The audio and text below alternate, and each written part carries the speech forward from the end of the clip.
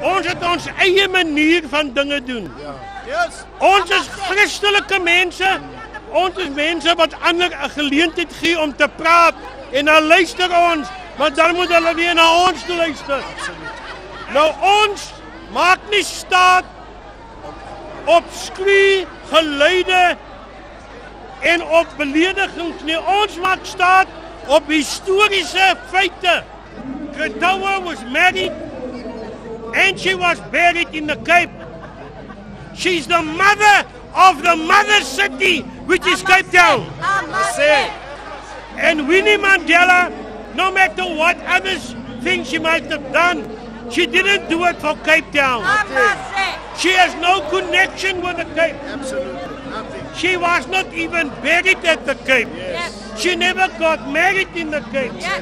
So I say, no matter what happens, those people who call themselves colored, remember, you all have a come from. Yes. Yes. And that come from is the Khoi. yes. It is the Gorinkwa. Yes. It is the San. Yes. It is the Griqua. Let us form a united alliance and take over the Western Cape.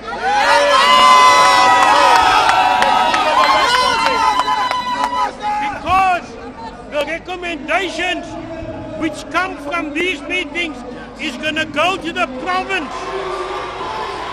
And we must apply pressure on Helen Sullivan to support The the tower. We've got to stand together, people, or this is going to happen all over. the country.